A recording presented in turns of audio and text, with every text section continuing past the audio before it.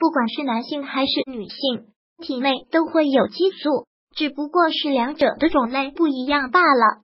可能对于男性来说，雄激素的含量高低没有很大的影响，但是女人的话，雌性激素含量就非常重要了。体表、女人味、活力还有生殖器健康，都和雌激素息息相关。女性衰老也是从雌激素减少开始，一般在三十五岁之后就呈下降趋势。这个东西也是影响卵巢健康的因素。任何女性想要自己身体健康、心情愉悦的度过更年期，都要重视卵巢的健康。今天的文章就针对保养卵巢，给大家推荐几款有益的食物。百合，百合有观赏性、食用价值还有药用价值。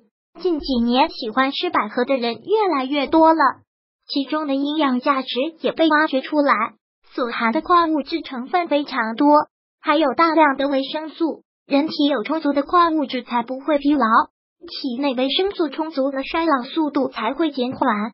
除了这两个功效外，百合能帮助人体清除体内有害物质，最主要的是有保养卵巢的功效，调节体内激素水平，有效的预防卵巢囊。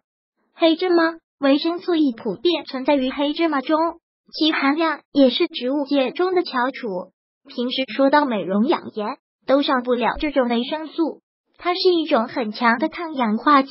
除了被当做抗氧化剂以外，维生素 E 还能增强女性的生育能力，是大名鼎鼎的生育酚。生育也离不开卵巢，所以说多吃黑芝麻这种含维生素 E 量高的食物，可以滋润卵巢，防止绝经期的提前到来。次一，这也是今天推荐食物中唯一的一款水果。也是平时比较少见的水果种类，新鲜的可能难以购买，但是做成的果汁类却很容易找到。买不到新鲜水果，可以去超市多买点果汁回来喝。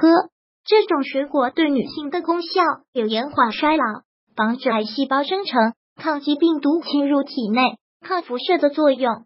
豆和豆制品，到那里面所含的著名成分就是大豆异黄酮。这和女性体内的女性素非常相似，适用进体内后可以直接作用于人体。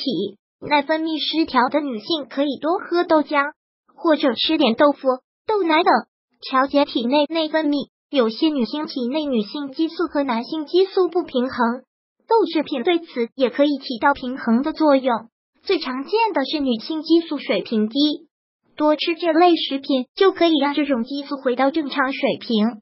葛根粉这种东西，因为和人参有着异曲同工之效，被称为千年人参。最后推荐的这款是猛药来的，里面所含的植物异黄酮，没有哪种生物是可以比拟的。所以平时喝多拿粉末泡水喝，会大大的促进身体多多分泌女性激素，从而滋养卵巢。各位女性朋友们，大家平时会吃这些食物吗？如果喜欢本视频，请分享并订阅本频道，别忘了按赞哦！